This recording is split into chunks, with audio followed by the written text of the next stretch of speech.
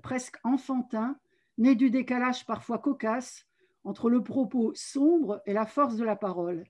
C'est sans aucun doute ce qui permet de parler de son théâtre comme d'un lieu fort d'initiation à la vie, de nature philosophique, comme savent l'être les grandes œuvres littéraires. Ça, c'était dans le premier volume. Dans le second, voilà le, le bilan que j'avais rédigé. Depuis Mange-moi, sa première pièce jeunesse publiée en 99, Nathalie Papin a construit une œuvre théâtrale majeure, auteur associé à l'opération théâtre 2007-2008, ça c'est pour Catel. Elle va souvent à la rencontre des classes et dit son intérêt pour la vitalité de l'enfance et de la jeunesse. Depuis d'ailleurs, ça s'est retrouvé concrétisé par euh, ce beau petit volume euh, publié à, l'école des loisirs. Euh, donc bénéficiaire de plusieurs bourses et résidences d'écriture, elle a publié alors, à l'époque, c'était 12 pièces, aujourd'hui, c'est beaucoup plus, régulièrement montées, toutes publiées dans la collection théâtre de l'École des loisirs, à l'exception des monologues de l'ouvrage collectif Les 100 voyages, les 120 voyages du fou aux éditions théâtrales. Et puis, donc en 2002, Le Pays de Rien a reçu le prix de la Stège. Plusieurs pièces inédites ont été lues, mises en nom des jouets, euh, L'épargné, Zigo, Héloïse, Héloïsée, Le saut de la tortue, Tisser les vivants. Alors, je, passe un petit peu sur certains, certains développements. Elle a aussi écrit une carte Ne vous sauve pas la vie pour rien, en réponse à la commande d'un magicien, El Kaïr Djenan. Et la conclusion à laquelle j'étais arrivée est la suivante. Tout le théâtre de Nathalie Papin déploie de pièce en pièce une quête obstinée entre parole et silence, dedans et dehors, humour et tragique, dans des fables aux allures de récits des origines, et néanmoins pleine de chair, le chemin, la ligne d'horizon, le pont et l'escalier semblent constituer les motifs essentiels de cette quête dans des dramaturgies qui font la part belle au pouvoir des mots. Et je, conclurai en rappelant, euh, mais je pense que vous le savez, que Nathalie a eu le Grand Prix de littérature dramatique jeunesse en 2020 pour Léonie et Noélie, qui a été présenté euh, dans le IN d'Avignon et que sans doute certains parmi vous ont vu dans la mise en scène, donc en 2018, dans la mise en scène de Karel Prugnot pour la compagnie L'envers du décor. Voilà pour, euh, pour euh, Nathalie. Donc, est-ce que tu souhaites, Nathalie, réagir et compléter cette présentation et puis donc nous dire quelle est ton actualité à l'heure actuelle? C'est toujours voilà, étrange d'entendre. oui. Mais c'est assez étrange parce que le, tout ce que tu dis sur euh, ces, voilà, ces, paradoxes, euh, peut-être chez moi, entre humour et, et hmm, pas tragédie, mais presque, euh, rejoint exactement le titre que je voulais donner à, l'atelier d'écriture, enfin l'atelier d'écriture. J'appellerais ça plutôt une, une impulsion d'écriture, un voyage d'écriture théâtrale. Je, voulais l'appeler le sourire de la tragédie. C'est marrant, enfin, c'est drôle, c'est ah ça. Enfin, voilà. C'est vraiment le titre qui m'est venu comme ça. J'ai laissé, je me suis laissé un, temps assez spontané. Je me dis, qu'est-ce qui vient comme ça? C'est ça, le sourire de la tragédie. Alors, pour mon actualité euh, théâtrale, qui est mise à mal, hein, comme pour euh, tout le monde, puisque c'est là, il y avait la, la, la, tournée de la, d'une pièce qui a été écrite il y a, il y a 12 ans, je crois, euh, qui, qui s'appelle La morsure de l'âne, qui est une pièce sur euh, un personnage qui est dans le coma et qui voyage entre deux mondes. Euh, et qui est très bien, je ne vais pas raconter ça, mais qui est très bien dans, ces deux mondes. Et il y a donc un, guide qui est un âne, qui le guide là. Et donc, c'est Émilie Leroux qui a, mis en scène cette pièce qui a été trois fois reportée à deux jours près à cause du confinement. Donc, là, c'est, vraiment difficile pour les comédiens. Voilà, les Mais ils ont beaucoup de, force. Là, normalement, c'est prévu pour euh, le Grand T, pour euh, le festival euh, Petits et Grands. Voilà, il y, a ça comme actualité. comme actualité, voilà, c'est ça.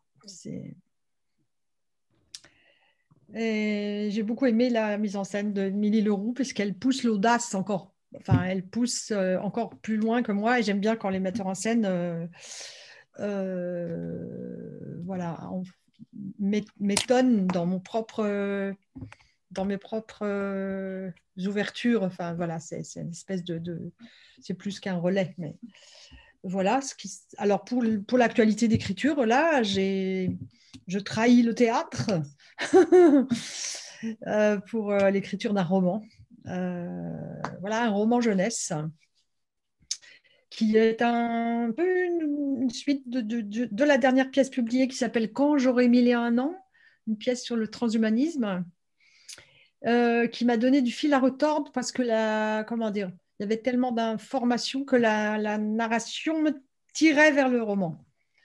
Et j'ai dû lutter pour revenir vers le théâtre. Et donc, euh, voilà, je me suis dit, bah, je, vais voir, tiens, comment ça se passe du côté du roman. Voilà, donc c'est une pièce sur euh, un monde futur euh, qui s'appelle Autour de l'enfant de trop, un enfant de trop, un monde où la résolution de tous les problèmes est faite par un, taux de population très très bas qui permet à chaque individu d'exister pleinement, totalement, d'être comblé, etc., de pouvoir s'augmenter autant qu'il le désire. Euh, sauf qu'il y a une chasse à, évidemment, euh, cette civilisation se bâtit à un individu près. Donc, c'est la chasse à, l'individu de trop et l'enfant de trop, évidemment. Il y aura un enfant de trop. voilà, c'est ça. Mon, mon actualité. Voilà, voilà. Euh, est-ce que j'arrête là hein? Excusez-moi, je suis un petit peu longue. Alors, avant de, passer à Sylvain, je me disais en t'écoutant, Nathalie, que finalement, le fait que tu t'en ailles vers le roman, euh, hormis le fait que tu n'avais pas commencé par de l'écriture théâtrale. Oui, oui, oui. Euh, finalement, enfin, moi, je me dis que, bon, on en a déjà parlé, mais c'est, c'est, ça, ça, ne me paraît pas euh, euh, contradictoire. C'est-à-dire que dans ton théâtre, il y a un rapport au, au récit, à la force du récit, et y compris euh, mythique, qui, qui, fait sans doute le pont entre ces deux formes d'écriture. Sauf que c'est l'acte, enfin écrire un roman, c'est pour moi, c'est presque contre nature, puisque ça suppose euh, de développer, ça suppose au niveau du rythme, l'écriture, le, rythme de l'écriture théâtrale et les danses, ça suppose une tension, ça suppose quelque chose euh, quand même de court dans le temps, enfin, c'est-à-dire ça peut prendre plusieurs mois l'écriture d'une pièce, mais il y a quand même une tension toujours. C'est un sprint, ça, mais, mais tenu. Alors que l'écriture du roman, là, je m'en aperçois, il faut une sorte de, entre parenthèses, de routine, c'est-à-dire se remettre à la tâche tous les jours. Et ça, c'est contre nature chez moi. C'est presque. Donc, je, je, me, mal, je me malmène là. Mais c'est très intéressant, j'aime bien les défis, moi. Donc, euh, mais j'ai hâte de reprendre euh, l'écriture théâtrale. Ça, ça, ça me, montre à quel point j'ai envie, j'aime cette écriture.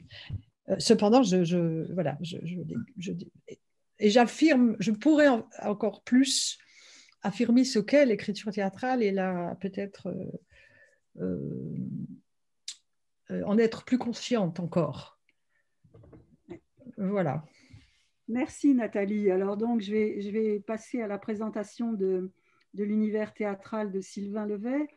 Euh, donc, dans, dans le. Alors, il se trouve qu'on a, il y a eu un aparté des EAT il n'y a pas tellement longtemps consacré à Sylvain. Donc, certains parmi vous, je crois, euh, en étaient. Donc, il y a des choses que je ne voudrais pas euh, trop répéter. En tout cas, pour moi, alors c'est une formule, mais j'ai été amenée à, à, dire que, que l'œuvre de Sylvain, à la fois relève d'un théâtre coup de poing POING et d'un théâtre coup de poing POINT pour, pour dire donc un, double engagement, moi qui me frappe beaucoup. Euh, engagement dans le monde parce que engagement dans la force de l'écriture et l'inverse, les deux se nourrissant. Et, il me semble que c'est ça qui, qui fait la, la, force théâtrale, de, la force de cet euh, univers théâtral. Alors Sylvain a, euh, donc je vais, je vais un peu raccourcir dans ce que j'avais prévu de dire. Oui, même dans son théâtre généraliste, Sylvain Levet écrit le monde du point de vue de l'enfance et de l'adolescence, un monde qu'il met à distance avec un mélange d'humour, de férocité et de tendresse, ces formes théâtrales sans cesse renouvelées, entre brièveté, fragments et narration épique, trouvent leur unité dans un fort rapport au rythme et pourraient être qualifiées, au-delà du jeu de mots, donc, comme je le disais, de dramaturgie du coup de poing. Et, donc, euh, euh, tout son théâtre, comme je le disais, me semble fortement engagé et je crois que l'adresse aux jeunes participe donc de, de cet engagement euh, puissant. Je voudrais rappeler que Sylvain a eu le prix de la belle saison avec Suzanne Lebeau en 2015. C'était le début euh, du Grand Prix de littérature dramatique jeunesse dans le, sillage de, l'opération de la belle saison. Et donc, c'était intéressant de voir euh, les deux générations euh, de Suzanne Lebeau et de Sylvain récompensées, enfin, récompensées en quelque sorte, même si le mot ne convient pas, par ce prix de la belle saison. Et, donc aujourd'hui, euh, c'est... Euh, alors j'en ai peut-être oublié, moi j'arrive à, 18 pièces, donc c'est un, un, univers euh, qui commence à être pesant, mais dans le bon sens du terme, une œuvre majeure, sachant que, si j'ai bien compté, deux tiers du théâtre de Sylvain est en direction de la jeunesse. Donc c'est intéressant de, de, voir quel est l'équilibre euh, de, cette adresse à la jeunesse. Alors, Sylvain, même question. Est-ce que tu voudrais rajouter des choses euh, Je n'ai pas parlé du mot, je n'ai pas utilisé le mot politique, mais je crois qu'il faudrait le rajouter à côté d'engagement. J'en profite d'ailleurs pour dire que c'est quelque chose que je rajoute à, la, présentation de ton théâtre, Nathalie, c'est que aujourd'hui me frappe une forme d'engagement politique aussi dans ton théâtre qui n'est pas toujours très mise en avant, mais que je crois euh, profond et, fort. Hein. En tout cas, c'est un point commun euh, entre vous deux dans des formes extrêmement différentes, mais, que je crois quand même un, point commun réel. Hein. Alors, Sylvain. Eh bien, oui, oui, oui, euh, deux tiers, ben, par rapport à cet engagement politique, je crois que l'engagement politique, il est aussi d'écrire du théâtre pour la jeunesse, que je revendique et que j'assume, mais sans me soucier euh, de, de, gestion de carrière, je dirais, c'est-à-dire euh, écrire un texte adulte pour revenir dans le monde. Euh, pourquoi j'écris pas de texte adulte en ce moment? Parce que j'ai pas la nécessité, tout simplement, et que j'avais des nécessités d'écrire pour la jeunesse. parce, que, parce que je crois qu'il faut qu'on écrive encore plus pour la jeunesse maintenant, en ce moment, parce qu'elle morfle pas mal là avec tout ce qui s'y passe, et elle morfle depuis 5-6 ans euh, avec euh, beaucoup de choses qui se, sont passées pour elle. Donc, j'ai nécessité en ce moment, euh, effectivement, depuis 4-5 ans, une nécessité d'écrire pour les jeunes. donc, voilà, je ne fais pas de calcul sur ce que je dois écrire et, à quel moment je dois l'écrire. J'ai vraiment cette envie-là en ce moment d'écrire pour eux et pour elles et, et que, que, voilà, je ne me pose pas de questions là-dessus. Je prends beaucoup de plaisir je, suis hyper heureux de, voilà, effectivement, de. C'est pas que je, mets un livre de plus dans la collection, mais à chaque fois qu'il y en a un qui sort, il y en a beaucoup qui sont sortis ces derniers temps.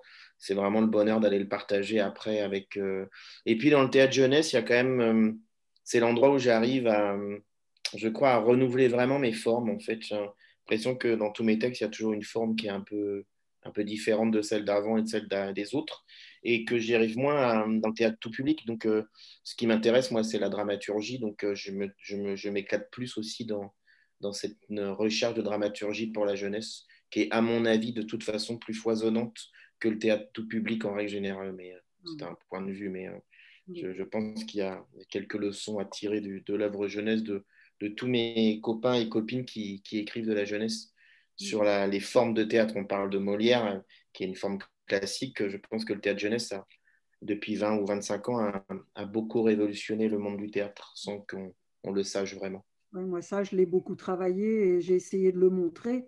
Et effectivement, on se rend compte qu'il y a des...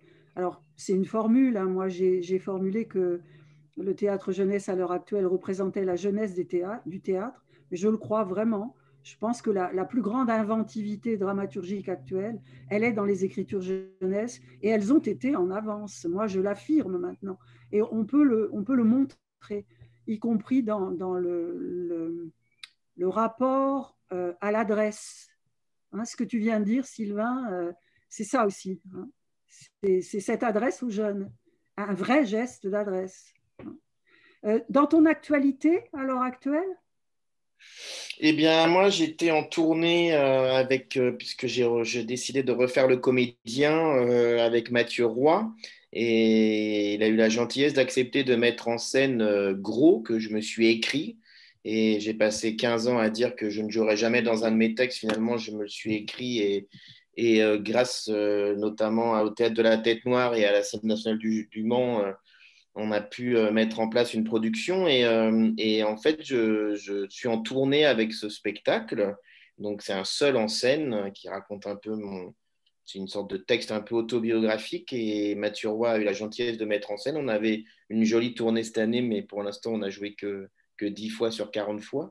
Donc voilà, on a eu une trentaine d'annulations. Et puis euh, voilà, l'année prochaine, on, a encore, on va encore à la rencontre du public. Je pense que l'année prochaine, on pourra jouer. Et puis ma deuxième actualité, euh, qui n'a rien, enfin qui a à voir, mais euh, je me suis lancé dans ces temps de confinement. J'ai créé une entreprise euh, qui s'appelle Label Tandem. C'est une vraie entreprise. Je suis devenu un, capitaliste chevronné. ma banquière a, fait un peu la tronche quand je lui ai dit de l'intituler de mon entreprise, mais donc ça s'appelle Label Tandem et c'est une maison de disques de théâtre vinyle, une maison de disques vinyle de théâtre contemporain. Voilà, c'est une aventure que j'ai envie de tenter. Donc, j'ai un premier opus qui sort euh, dans deux mois, début juin. Je fais un peu de pub. Hein, si vous voulez commander, vous m'envoyez un petit mail. C'est très artisanal au niveau de la, vente parce que ça fonctionne par mon mail pour l'instant. Mais par contre, c'est un vrai vinyle, euh, voilà, dans des conditions très, très, très professionnelles. Donc, j'ai investi une petite somme d'argent que j'avais en économie dans cette petite société. Mon but étant de créer une autre forme d'associer toujours des gens de théâtre et des musiciens ou musiciennes pour créer des objets euh, euh, un petit peu euh, uniques, et, mais qui ont toujours un rapport avec le texte et qui permettent de, d'être sur un autre vecteur que le plateau, que le livre. C'est le vinyle, qui est un objet. L'année dernière, il y a eu plus de vinyle que de CD vendus aux États-Unis. Je pense que c'est vraiment un, objet en même temps du passé et en même temps d'avenir. Et, du coup, voilà, c'est venu cette idée parce que j'ai travaillé avec un rappeur qui s'appelle Marc Namour, du groupe La Canaille. Et on a créé un opus qui s'appelle L'Endormi, qui est un, récit rap et que, qu'on a donc enregistré en studio et qui sort là. Il est, il est en ce moment à la fabrication, le vinyle. Et, voilà, il sera en vente euh, un peu partout, j'espère en tout cas. Euh, beaucoup de façon, euh, je dirais, la main à la main, voilà, en, contact direct, mais il sera aussi dans quelques librairies. Et puis le spectacle, il aura lieu l'année prochaine dans une mise en scène d'Estelle Savasta. Voilà, quelqu'un que j'aime beaucoup et euh, qui pour moi, on parlait d'Émilie Leroux tout à l'heure, hein, qui sont pour moi euh, deux grandes metteuses en scène. Et, euh, et du coup, il y a une tournée qui est prévue. voilà, c'est une jolie aventure avec les deux, avec les deux, avec le rappeur et son musicien Valentin Durup. le rappeur, il s'appelle Marc Damour. Et voilà, il y aura une tournée. Et puis, il y a ce vinyle qui sort. Voilà, c'est une grande aventure et j'ai déjà des projets pour des deuxièmes. C'est assez rigolo parce qu'il y a aussi des gens qui m'appellent pour proposer leurs projets. Je me retrouve dans cette euh, configuration à accueillir les projets des autres pour voir. Alors moi, je ne peux pas tout produire parce que c'est une toute petite entreprise, c'est même pas familial à ce niveau-là, je ne sais pas ce que c'est. Euh, je ne gagnerai pas vraiment beaucoup d'argent avec, je vais en perdre, je pense, mais l'outil m'intéresse et puis euh, voilà, je suis très heureux de l'objet qui va sortir début juin. C'est une grande aventure pour moi. Voilà mon actualité. Merci Sylvain. C'est vrai que c'est un, projet euh, hors norme et, très intéressant à suivre. Je n'ai pas dit à quel point euh, euh, Sylvain est, aussi attaché au, collectif, aux formes collectives. Hein. Je n'ai pas parlé du groupe Pétrole, mais, vous le savez sûrement, mais je trouve ça intéressant de, voir des collectifs d'écriture et, des aventures collectives voilà, euh, dans, dans, les, aventures de théâtre jeunesse et jeune public. Alors, euh, maintenant, euh, donc, je vais vous présenter Lise Martin, que vous connaissez aussi. Donc, euh, je vais là aussi m'appuyer sur ce que j'ai pu rédiger dans Vers un, théâtre contagieux, mais je suis allée glaner des choses intéressantes sur le site Théâtre contemporain, au-delà de ce que je peux savoir de mon côté. Alors, voilà ce que j'avais rédigé dans Vers un théâtre contagieux. Donc, Lise Martin, comme beaucoup d'auteurs de théâtre contemporain, est passée par le jeu, mais elle a aussi goûté à la mise en scène et à la réalisation. Si désormais elle se consacre avant tout à l'écriture théâtrale, elle écrit également des nouvelles et des livres pour enfants. Ça rejoint l'échange de tout à l'heure sur le rapport entre l'écriture théâtrale et, sa trahison. Euh, elle est l'auteur d'une quinzaine de pièces et elle qualifie ainsi son univers. Le théâtre est mon outil, je le pense subversif, engagé et libre. on sent en effet combien ces thématiques disent le monde de la souffrance générée par la question du territoire dans Terre, publié chez Lanzmann en 2009, à celle des enfants vivant des situations difficiles, que ce soit l'école, quand elle n'est guère à leur écoute, comme c'est le cas dans Pablo Zani à l'école, ou que ce soit dans Azaline se moi une pièce qui me touche tout particulièrement, toujours dans un cadre scolaire, l'inceste qui donne à une petite fille une extraordinaire violence qu'elle détourne au travers des contes qu'elle invente et encadre dans la cour, de récréation.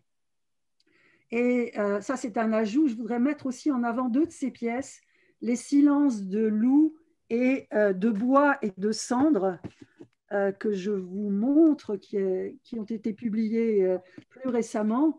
Et aussi les petits textes qui ont été publiés dans donc Au-delà du ciel, dans le volume, je crois que c'est celui-ci, euh, euh, euh, cours au théâtre numéro 1. Il y a aussi Rumba. Il y a également dans Diversité un truc par cœur, pour dire d'ailleurs au passage le, développement qui me frappe des formes brèves, des textes assez courts dont on trouve aujourd'hui beaucoup, beaucoup de, d'exemples. Alors, il y a, c'est très hétérogène euh, dans, dans, cette forme brève, mais il y a de, petites pépites à aller dénicher. Et, pour les enseignants, ce sont des, des, formes très intéressantes, un peu comme la nouvelle par rapport au roman, euh, qui offre des, perspectives de, travail euh, qui, me semble, qui me semble intéressant de valoriser. Alors, dans ce que j'ai glané sur théâtre contemporain, Lise Martin est née par hasard d'un père réfugié politique espagnol et d'une mère d'origine anglaise.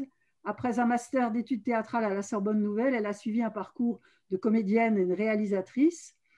Euh, donc, euh, je voudrais mentionner aussi aux éditions Cratère, Zone Rouge, Abribus, euh, Confessions gastronomiques, Confessions érotiques, euh, et donc, euh, alors, euh, parmi d'autres prix, hein, Lise a été lauréate de la Villa Mont-Noir en, 2001-2002, qui est, est voilà, une, belle expérience, j'imagine.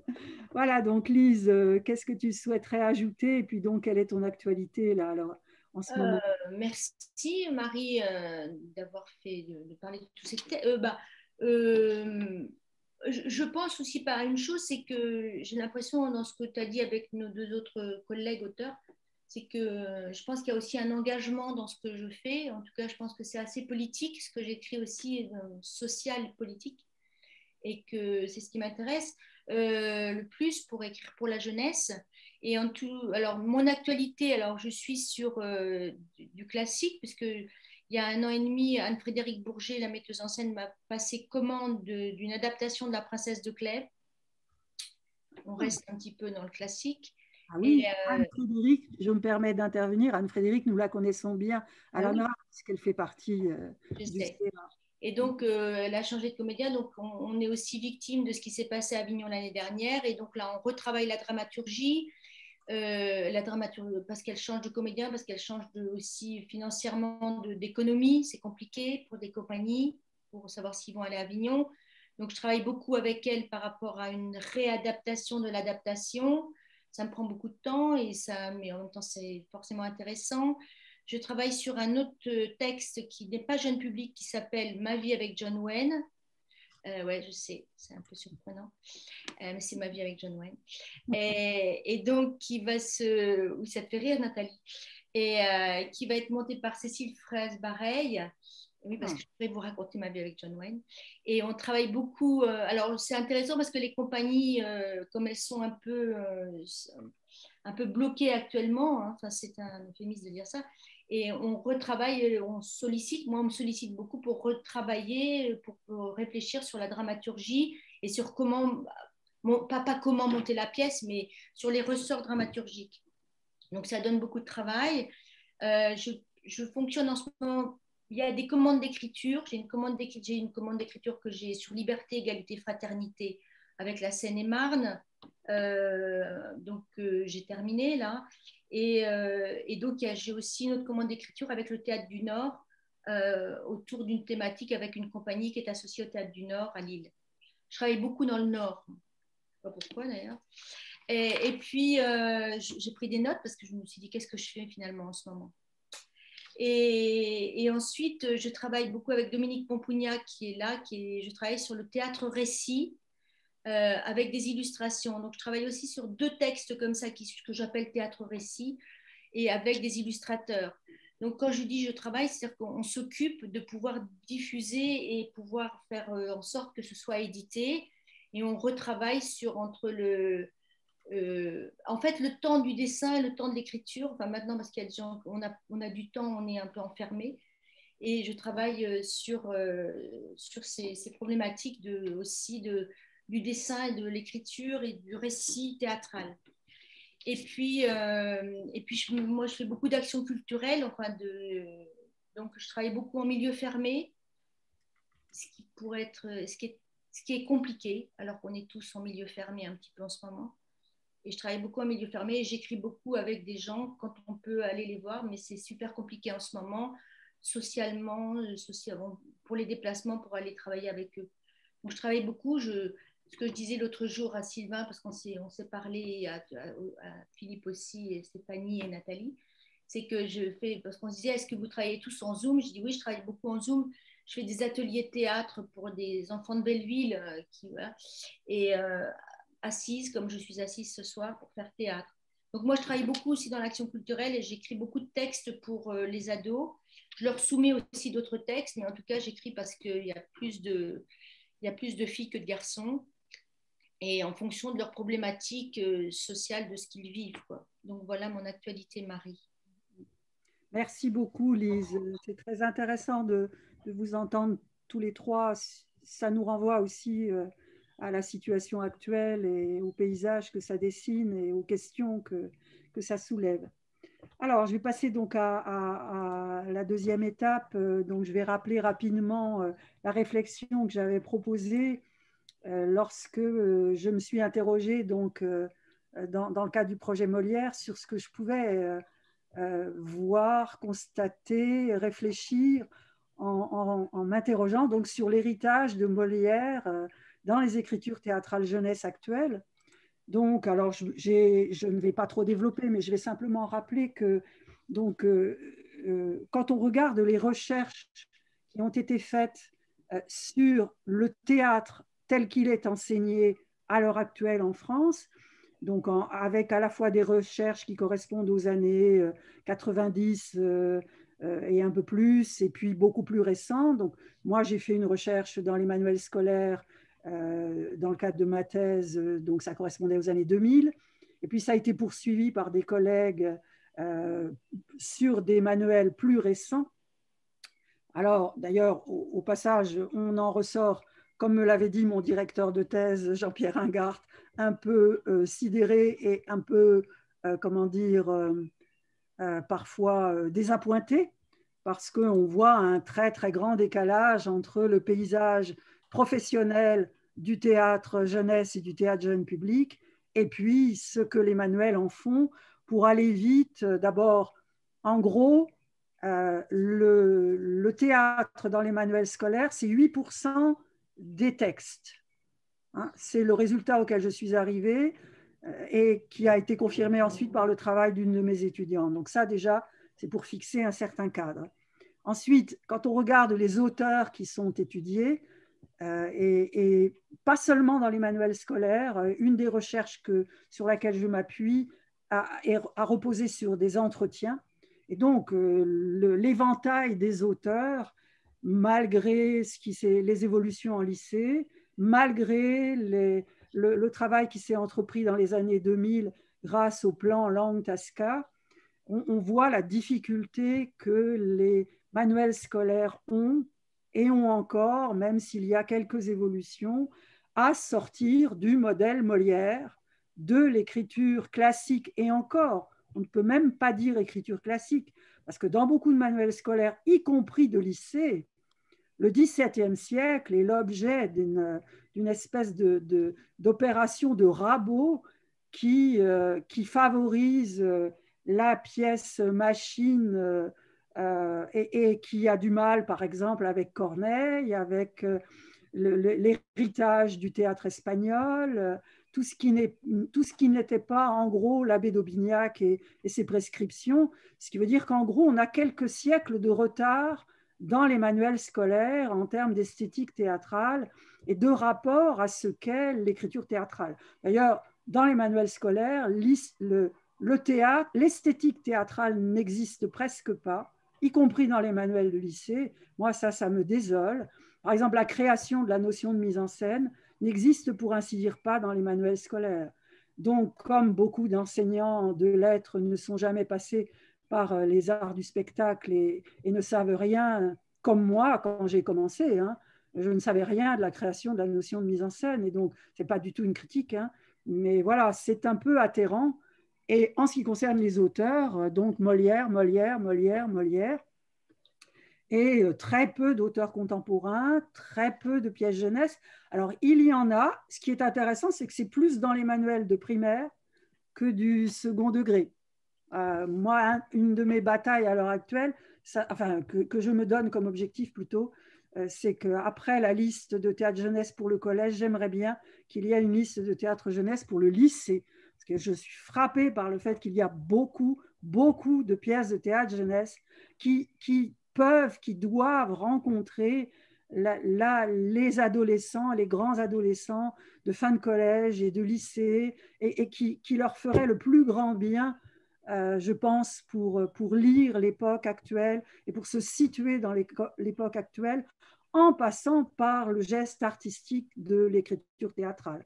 Ah bon, je ne vais pas trop développer ce, cet aspect-là.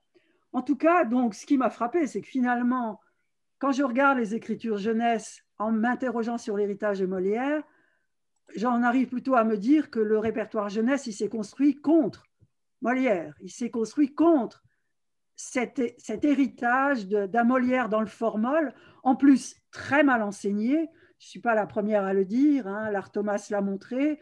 On n'enseigne pas Molière comme un grand écrivain, par exemple. On n'enseigne pas Molière comme un grand, comme l'auteur d'un théâtre qui est une machine à jouer et une machine à, se mettre en bouche le texte.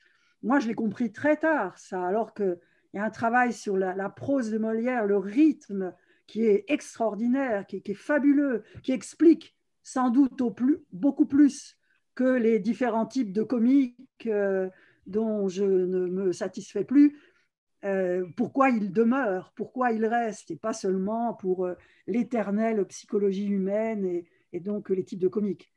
Alors, l'héritage, finalement, donc sachant que je crois que les écritures jeunesse se sont construites contre cette forme euh, scolarisé, mal scolarisé de, la figure emblématique et tutélaire de Molière, ce qui m'apparaît comme un héritage aujourd'hui, et il est à questionner, c'est que euh, sont restées certaines thématiques, le couple maître-valet et surtout maître-servante.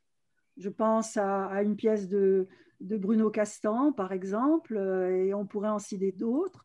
Ce qui m'apparaît aussi, c'est que finalement, le couple adulte-enfant, alors avec la différence des âges à l'époque hein, de Molière, mais le couple adulte-enfant, euh, ce que j'appelle le couple générationnel, est aussi sans doute peut-être, alors c'est plus compliqué que ça bien sûr, mais une forme d'héritage de, des, pièces de Molière. ce que je crois, c'est que c'est surtout, euh, sont surtout des héritages dramaturgiques qu'on peut voir à l'œuvre. Donc, la pièce machine, qui a été longtemps, alors quand on regarde le début des écritures jeunesse, là aussi c'est compliqué parce qu'elles se sont aussi construites contre ces écritures jeunesse et, vous en êtes tous les trois euh, l'exemple. Mais le plus fort, c'est le rapport à la farce et le rapport au rire. moi, c'est surtout cette piste-là que, que, je vous propose là maintenant. Euh, ce qu'on voit dans les manuels scolaires, dans les instructions officielles, dans beaucoup d'articles de gens qui ne connaissent pas bien les écritures théâtrales contemporaines et les écritures jeunesse, c'est que finalement, on se représente souvent que l'adresse aux jeunes, ça doit être, ça doit être une adresse euh, euh, euh, en gros de, du happy end, de, de, la, de la nécessité du rire, de la nécessité du comique. Et voilà, je pense que c'est quelque chose qui est à, interroger, moi, j'y vois d'un point de vue idéologique. J'en reparlerai lors des, journées d'études que, nous préparons à l'ANRAT et dont Philippe parlera peut-être à, 20h moins 5. Donc, euh, euh, je, pense qu'il y a là aussi des raisons idéologiques. Je suis un peu sévère là-dessus, mais je ne crois pas avoir tort sur le fait que l'institution éducation nationale euh, a, quelques penchants pour pour ce qui peut peut-être détourner de l'historicité. Mais bon, je n'ai pas trop, trop développé ça. Alors, ma première question par rapport à tout ça, pour vous trois, euh, dans, l'ordre qui viendra bien sûr entre vous, euh, vous comme élèves, comme anciens élèves, quel est en vous l'héritage de Molière euh, Comment cette figure de Molière que je viens de présenter a influencé ou pas votre entrée dans l'écriture théâtrale euh, voilà. Et, donc le, rire, on en parlera après, mais simplement cette figure de Molière, comment, comment la, vivez-vous, vous, en tant qu'ancien élève? Je veux bien prendre la parole. Oui. Parce que nous en avons un petit peu parlé la semaine dernière avec Sylvain, Nathalie, euh, Stéphanie et Philippe.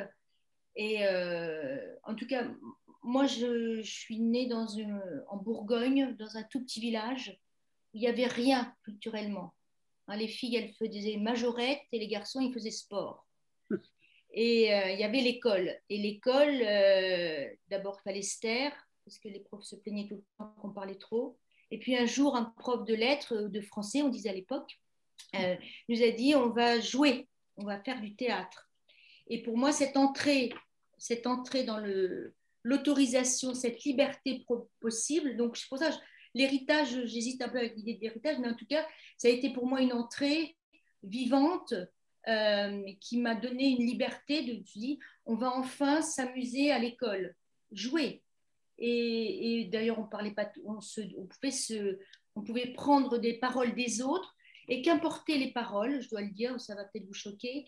Quoi qu'on dise, c'est qu'on pouvait s'amuser avec une langue qui n'était pas la nôtre du tout, mais qu'on s'appropriait et qu'on apprenait par cœur et là, ce par cœur nous faisait du bien au cœur et à l'âme aussi surtout.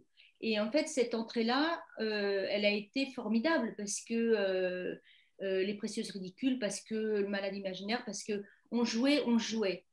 Et ça a été, enfin, c'est mon entrée en tout cas chez Molière, c'est que ça a été vraiment une source de, de, liberté à un moment donné, de pouvoir parler sans lever le doigt et sans qu'on te dise tais-toi. Là, on a dit vas-y, tu peux parler. Donc voilà, je voulais dire que c'était vraiment, c'est l'entrée et c'était Molière. Il n'y avait pas d'autres textes. Avant, c'était euh, c'était de, la poésie quand on était jusqu'au CM2.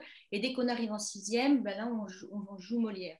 Et euh, c'est une libération, en tout cas par rapport à la, notion d'enseignement, de, d'enseigner et des enseignants. Et là, on se dit, les profs sont formidables parce qu'on peut enfin parler. je voulais dire ça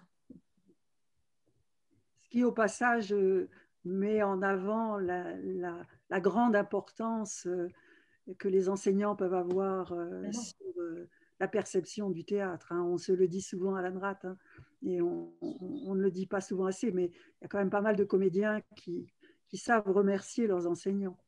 Et on se souvient tous de, des prénoms, des noms de nos enseignants. Il s'appelait Monsieur Leguet. J'étais amoureuse de lui d'ailleurs. on en apprend. Alors, Sylvain, Nathalie? J'ai un peu la même expérience euh, que Lise, en fait, ça, ressemble beaucoup. Euh, j'étais dans un petit village, euh, la, frontière de, de, Vendée, assez loin de tout, surtout de toute structure culturelle. Alors, nous, il n'y avait même pas les majorettes. il y avait le foot pour les garçons et une vraie.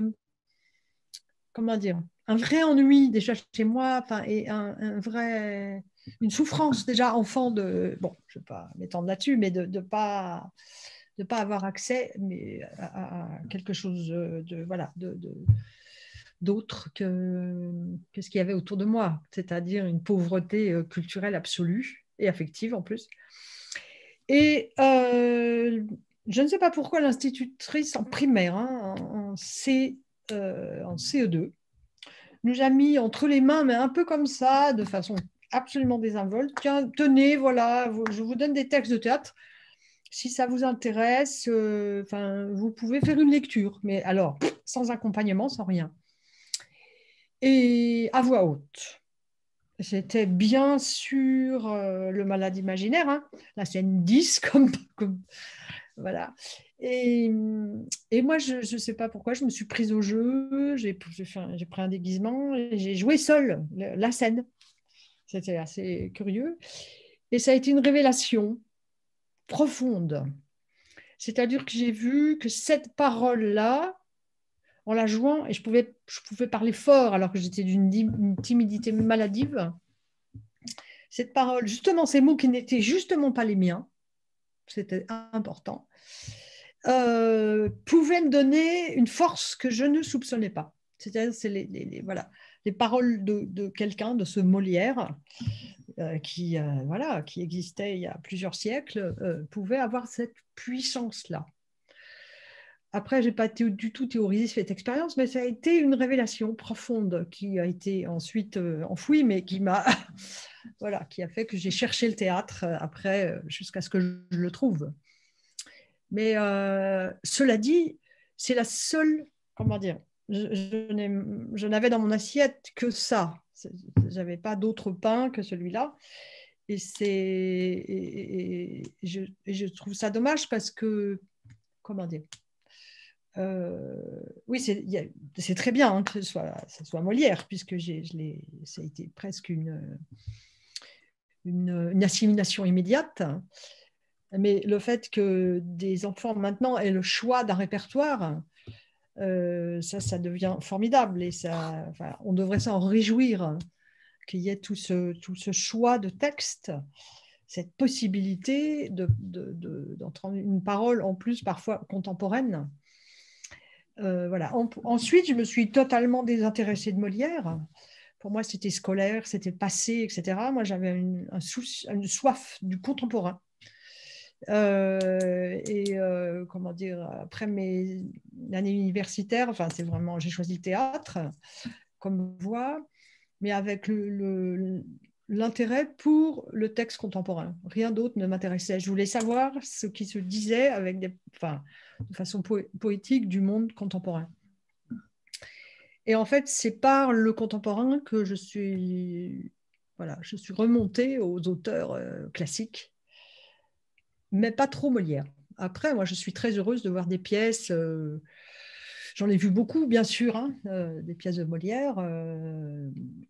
La dernière que j'ai vue, c'est le Misanthrope de Sivadier. Magnifique, magnifique. D'ailleurs, c'est la pièce, je crois, que je préfère de Molière. C'est voilà, c'est le Misanthrope et peut-être Don Juan à cause de la scène finale. Mais voilà, évidemment. Donc, euh, en rapport avec l'habitant de l'escalier? Euh, peut-être, peut-être, oui, oui, cette rencontre-là, ce personnage, enfin, ouais, le commandeur. Oui, ouais, c'est ce parcours. Et le misanthrope, ben, c'est toujours une question qui est là, et euh, ce personnage qui lutte. voilà, pour ce qui pense être le, entre parenthèses, l'intégrité. Ben, voilà. voilà, je ne sais pas si j'ai pu répondre. Ben oui, je crois que c'est très intéressant de, de, de, on y sent justement ce que je disais sur le fait que les écritures jeunesse se sont construites un peu contre Molière. Il ne s'agit pas non plus de, de, minimiser les expériences de Molière qui, comme Lise le disait, qui ont pu, et comme tu le disais aussi toi Nathalie, qui ont pu être fondatrices dans le rapport euh, à, à une parole euh, venant d'ailleurs. Ouais, il y a une petite expérience qui est assez marrante euh, que j'ai vécue. J'ai fait des colos théâtre, j'ai fait des colonies théâtre euh, quand j'étais très jeune, hein, j'avais à peine j'avais 20 ans. On partait en colo théâtre avec des chevaux. Enfin, c'était assez. Euh, on était sur des roues. Enfin, c'était même. On pourrait jamais faire ça maintenant. C'était presque dangereux. On était avec des chevaux, il y avait des roulottes. on était à pied. En plus, il y avait un système de freinage avec les les pneus qu'on laissait couler par terre. Enfin, c'était. Et euh, j'écrivais euh, tous les soirs, on se réunissait avec les, jeunes ados et euh, voilà, j'écrivais une pièce pour eux et on la jouait. Enfin, c'était un peu. Voilà. et il y a une petite fille qui m'appelait Nathalie Molière. Et je lui dis, mais pourquoi, pourquoi Molière? Et en fait, elle ne, pareil, enfin pour elle, le théâtre, c'était sa seule référence, sa seule référence. Et euh, bon, ça m'a beaucoup amusé, euh, sans du tout faire de. c'est pour dire à quel point c'est dans l'inconscient collectif associé à tous les niveaux, à, euh, y, compris l'inconscient enfantin au théâtre, qui est bien, hein, ce qui est, mais voilà. Euh, ce qui est dommage, c'est que ça, le, ça, laisse le théâtre dans un certain, euh, dans un certain univers, dans un certain. Euh, voilà. ouais. Mais bon. Après, voilà, voilà ce que j'avais à dire. Bon, bah, Là-dessus, ce qu'on peut se dire, c'était un peu la réflexion de vitesse. le contemporain n'a de sens que par rapport au au siècle passé et, la, réception des œuvres passées n'a de sens que par rapport au contemporain. Et ce sont les allers-retours entre les deux qui construisent une véritable réception juste. moi, quand je défends le rapport à l'historicité, c'est ça, quoi. La, liberté de découvrir le contemporain, on la gagne quand on connaît euh, ce qui s'écrivait au siècle passé. Et, l'histoire de l'esthétique théâtrale, elle, elle n'est pas assez enseignée et elle est capitale. C'est vraiment dommage qu'on qu'on ait du mal à, développer ça euh, euh, voilà, de façon systématique euh, dans tous les lieux d'enseignement, hein, y compris la formation des comédiens d'ailleurs. Oui, puis moi je trouve que ce qui est intéressant, c'est la vie de Molière. Comment dire C'est tellement énorme. Je vous, je vous, recommande ce livre, ah, Molière vu par une ado. Ouais. J'ai eu l'occasion d'en parler à Philippe. Je l'ai découvert un peu par hasard. Pour la couverture euh, euh, n'est pas très engageante, euh, les illustrations non plus. Quand on commence, on peut avoir un peu des doutes. Et finalement, vraiment, je vous le recommande. Uh-huh. Sorti de là en, ayant vraiment la sensation d'avoir d'avoir rencontré Molière à nouveau comme, comme personne. Ah je crois que c'est actuellement, moi, je pense que c'est ce qui m'intéresse le plus, je crois. C'est le personnage Molière. Dans ce bah, quand même, il est, il transgressif. Il est, sa pièce est interdite. Il a, enfin, c'est, il a peur de, pas grand chose, même s'il adapte à un moment donné pour que ça passe. Mais, mais quand même, il, euh, il y va, euh, il tape fort, quoi, sur. Euh, euh, il, tape fort. Enfin, c'est pas du tout Ouais, il y a quand même eu le film de Mnouchkin. Hein. Oui, oui, bien sûr, bien sûr. Beaucoup, bien sûr. beaucoup de personnes. Hein. Bien sûr, heureusement. Oui, oui, oui. Voilà, ben, voilà, ça passe par là, je trouve. Enfin, c'est bien de passer par là. Pardon, moi je, je, parle beaucoup là, je vais laisser la place à d'autres. Alors, à toi, Sylvain. Euh, moi, je connais. En fait, c'est, pour tout le monde, c'est à peu près le même chemin. Euh. moi, c'est le souvenir. J'avais jamais été au théâtre de ma vie. Mais moi, j'habitais à Sartrouville, en banlieue, en banlieue parisienne. Et euh, j'ai été avec l'école voir un, Molière au théâtre Georges V sur les Champs-Élysées.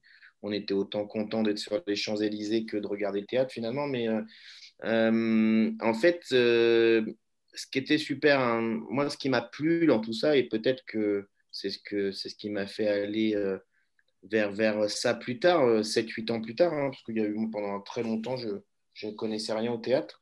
ce qui me plaisait, c'était le travail d'équipe. Je pense que c'était une production un petit peu commerciale, où il faisait un petit peu des tournées Enfin, je pense qu'il jouait euh, deux fois par jour au théâtre Georges V en remplissant des salles d'élèves. il n'y avait pas du tout à l'époque, je pense, ce travail euh, euh, de médiation culturelle qu'on peut tous faire en ce moment. C'était une sorte de sortie où on allait voir un Molière, on avait coché une case sur un. Et puis voilà. Mais moi, en fait, bon, on, regardait parce que voilà, et, je sentais qu'à côté de moi, ça regardait sans regarder. Mais moi, ce qui me plaisait, c'était le travail d'équipe, en fait. Je trouvais ça assez passionnant. Euh.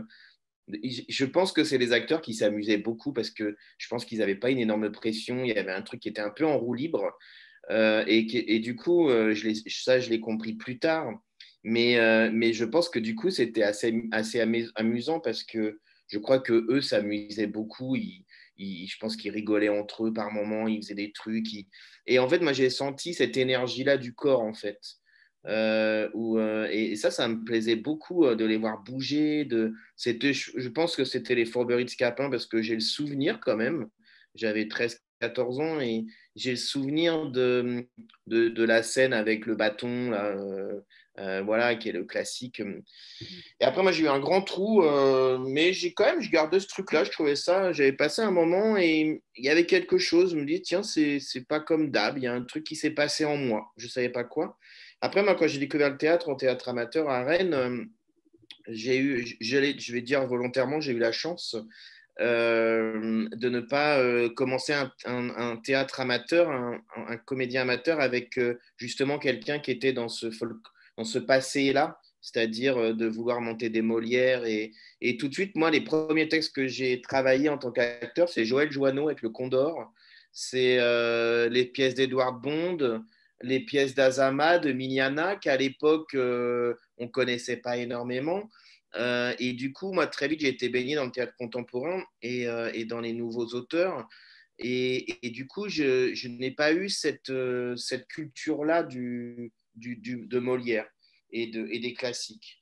Euh, ce qui m'a permis très tôt, ce qui a aussi influencé certainement mon écriture et, euh, euh, et, et, ce qui a permis peut-être voilà, de, de, me lancer dans l'écriture de théâtre contemporain. Après, pour rebondir sur ce que disait Nathalie, enfin sur tout ce que j'ai entendu là, je pense que effectivement, c'est bien d'avoir aussi une référence de 500 ans. c'est chouette, il y, a, il y, a, ce côté folklore qui est vachement important. Et pourquoi, il est, pourquoi le personnage Molière, pourquoi il est important, ou en tout cas il est, il est, il est resté, euh, parce que c'est le personnage aussi. Et, on est arrivé jusqu'au dernier, je dirais que les derniers auteurs emblématiques de théâtre, parce qu'ils ont une vie un peu fracassée, parce que euh, c'est les Lagarce, c'est les Coltès, c'est les derniers mythes. En fait, on parle de mythes plus que d'auteurs.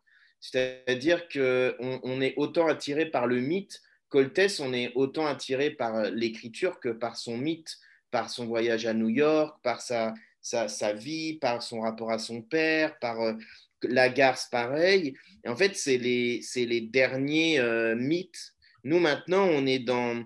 Parce que je pense que tous les auteurs, autant qu'on est, on a, et autrices, on a revendiqué aussi une simplicité, ou en tout cas une, une quotidienneté de l'acte d'écrire.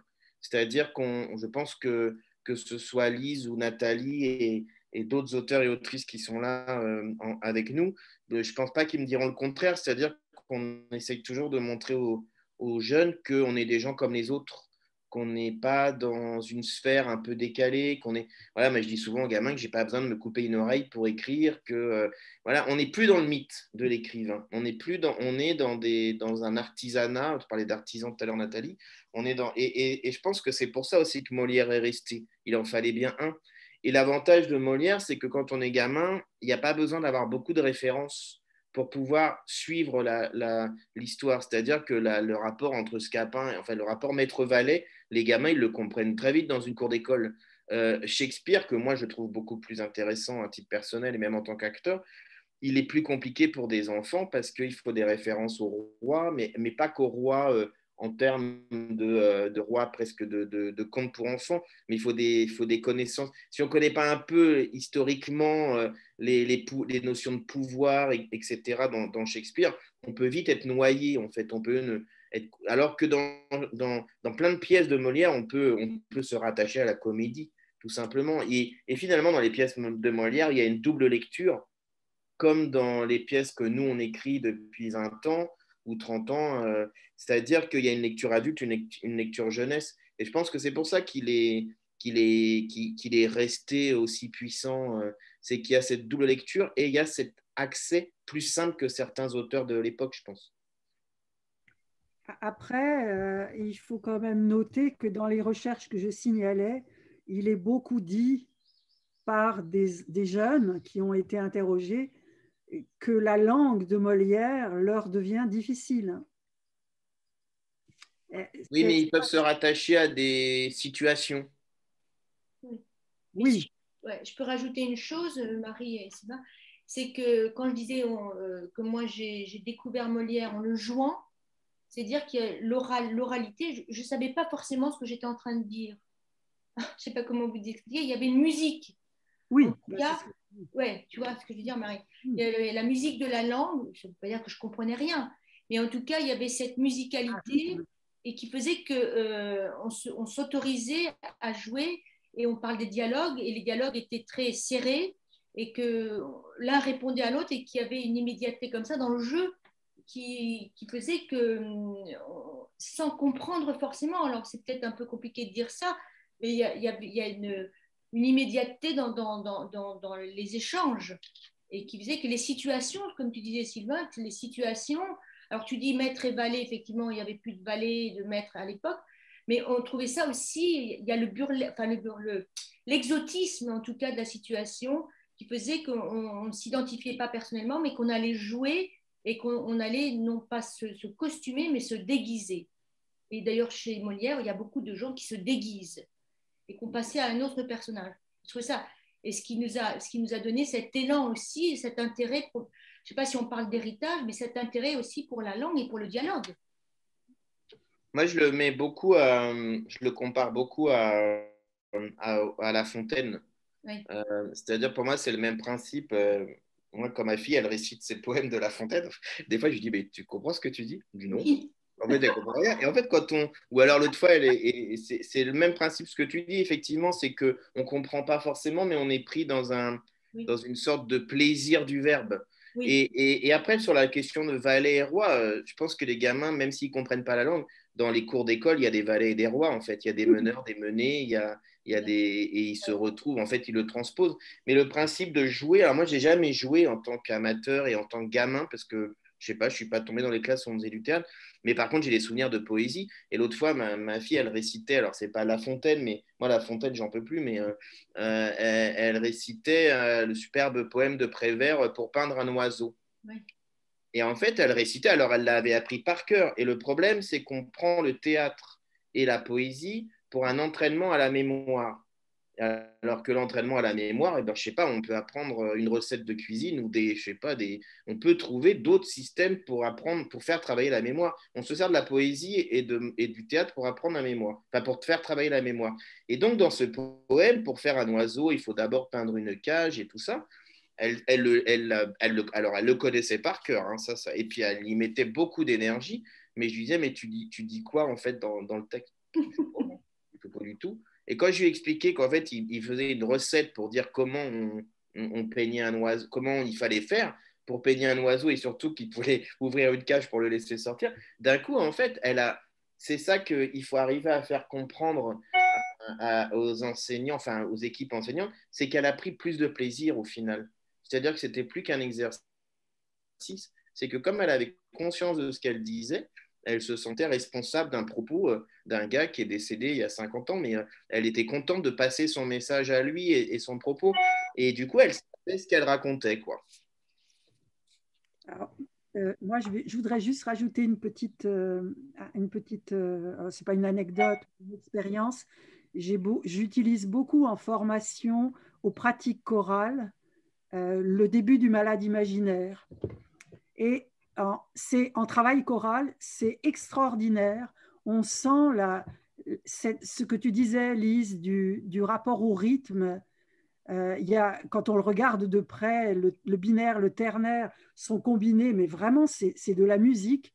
Et, et, je trouve amusant de transformer ce monologue qu'on représente souvent comme une espèce de grand défi pour un comédien professionnel en, en matière très, très ludique pour le, travail de mise en voix. Je l'ai fait, je l'ai proposé à, 15 personnes, 20 personnes, et on peut même aller au-delà. Je me souviens d'une collègue qui avait fini sur une table. Elle ne disait que le plus dans le, texte du malade imaginaire.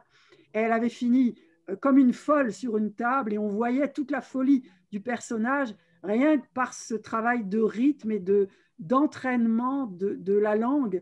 C'est vraiment une machine à jouer mais fabuleuse. Hein. Donc, ça correspond à ce que vous disiez sur le, le, le fait qu'on peut le dire à la limite sans, sans tout comprendre de, de, la langue parfois un peu obscure euh, pour des enfants d'aujourd'hui hein, ou pour des personnes d'aujourd'hui. Hmm. Donc, euh, la question maintenant que je voulais vous poser par rapport à ce que je formulais sur, euh, sur cette presque obligation au rire qui émerge des, manuels scolaires quand on parle de, théâtre et qui est, qui est assez, assez frappant. Euh, comment est-ce que vous vous situez par rapport au rire, au comique, à la voilà, ce que je dirais, c'est comment vous vous situez par rapport à la machine du rire? Alors, je ne sais pas lequel de vous trois voudrait euh, démarrer Ouais, je veux bien démarrer. pour la, machine du rire, pour moi, le rire, il est, il, est, il est juste une, petite touche salvatrice qui permet d'accepter euh, le reste. C'est-à-dire que l'humour, euh, l'humour, il est important dans les textes. Pour moi, en fait, il fait partie de mes mots-clés.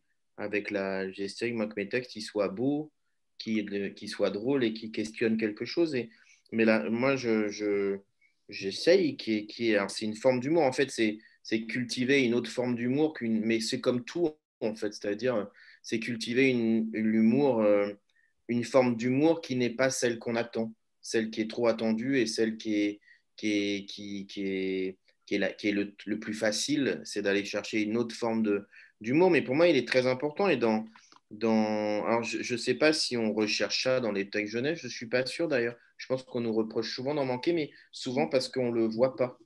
Euh, souvent, on ne voit pas là où il y a de l'humour, en fait. Parce que l'humour, il n'est pas forcément, je pense, dans les textes contemporains, il n'est pas forcément dans la situation, quoique, il y a des par exemple, je ne sais pas, dans, dans, dans, des textes, il y a des, comiques de situation très drôles, mais il est, beaucoup plus caché qu'avant, en fait. Il est souvent dans des répliques, il est au milieu d'une phrase, il est beaucoup plus, euh, beaucoup plus tenu, donc il est moins vu. Mais pour moi, il fait partie intégrante d'un spectacle, euh, enfin d'un texte. Euh, voilà, un texte, c'est une, c'est une courbe où il y a, y a de l'humour, il y a des choses plus drôles. Plus... Et pour moi, c'est une, c'est une petite, c'est souvent une, une petite récompense pour continuer, euh, euh, moi, mon humour est assez noir, donc il n'est pas compris tout de suite. Euh, mais ce que je peux dire, c'est que les, les, jeunes avec qui je travaille, à qui je soumets des textes contemporains de mes camarades qui sont là et d'autres, c'est pas toujours très drôle quand même. C'est dire qu'il faut vraiment aller chercher le c'est pas le, je parle pas du, comique, hein, mais je fais de la drôlerie de la situation qui n'est pas toujours euh, lisible ou comprise.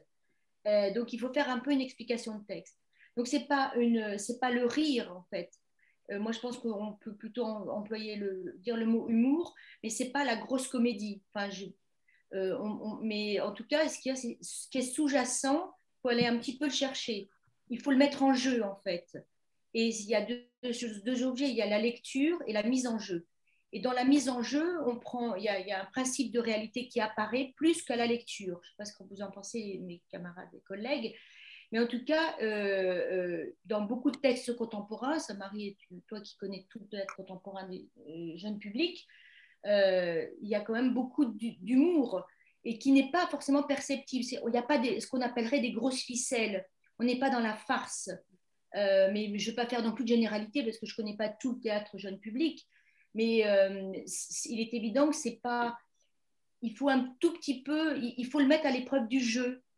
Euh, plus parce que vous savez, il y a toujours aussi. Est-ce que c'est à lire, est-ce que c'est à jouer? C'est à lire et à jouer. Mais toujours est-il que le principe de réalité de la, par le plateau, en tout cas par l'expérience du jeu, révèle l'humour plus que dans la lecture. Or, quand on va lire euh, la scène du poumon euh, chez Molière, on va avoir un, aspect, on va avoir le comique. Donc, je, pense qu'entre comique, humour et vouloir faire sourire, et tout en délivrant et en, parlant de choses graves. Enfin, moi, c'est un petit peu comme ça que j'écris aussi. J'essaye d'avoir une légèreté dans la gravité en passant par l'humour noir. Nathalie?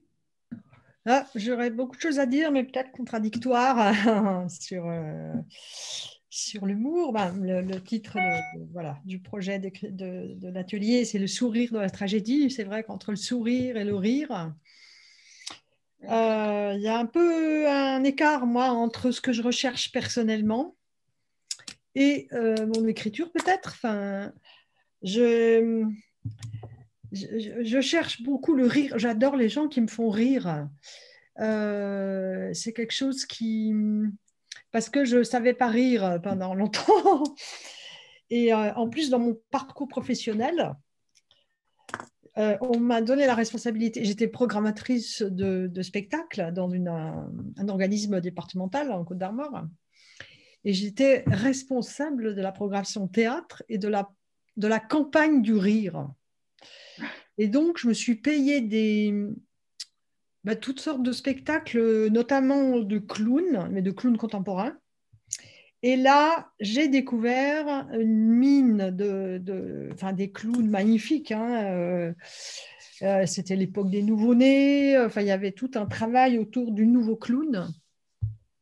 Catherine Germain, euh, etc. J'ai même fait un stage avec Rio Sarcey sur les maîtres clowns fait un stage avec Slava, avec les, plus grands clowns euh, euh, qu'on a pu voir. Et, euh, et j'ai trouvé ça.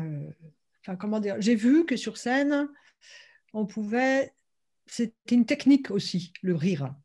C'était vraiment une technique. C'est Slava qui nous disait voyez là, je vais faire trois pas et ensuite vous allez rire. Et que là, qui faisait trois pas et on, il faisait quelque chose et on riait. Il y avait une maîtrise totale.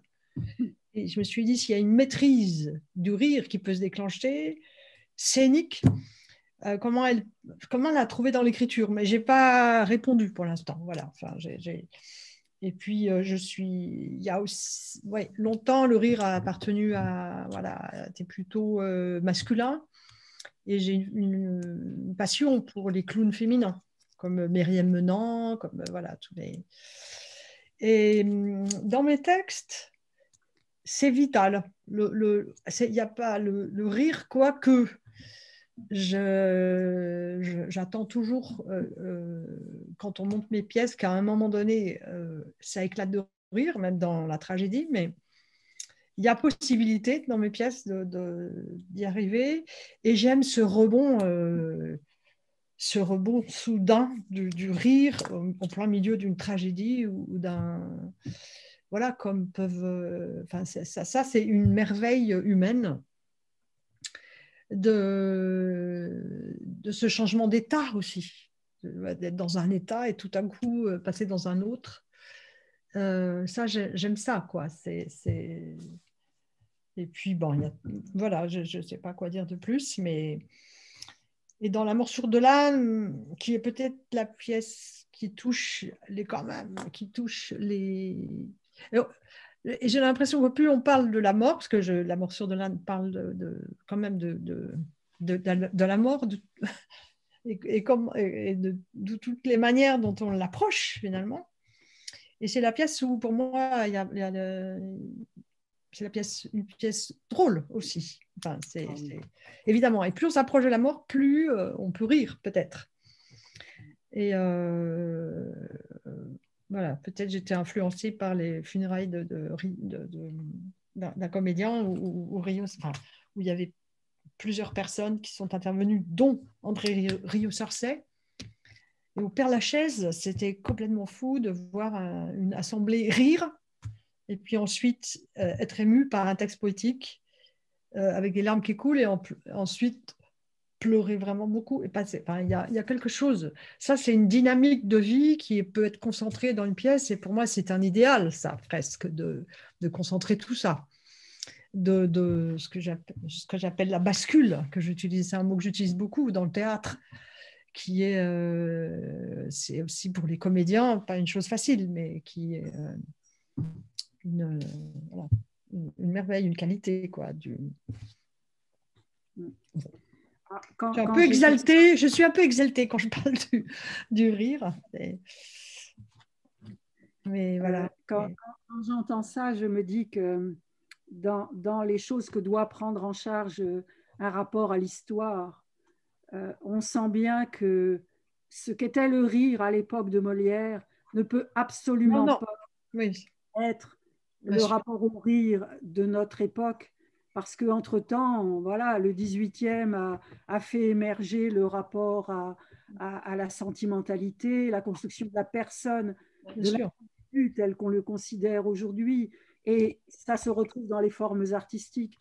Donc c'est là où le, moi, je, je, pense que les, les, les pires des pièces jeunesse sont des pièces, surtout au début de la construction du répertoire où les auteurs se sentaient obligés d'être dans une mécanique du rire qui n'était plus en phase avec ce que ça peut être, ce que peut être le rapport à l'humour aujourd'hui, qui est nécessairement ancré dans la conception que nous avons aujourd'hui et de l'individu et de ce que c'est que le théâtre.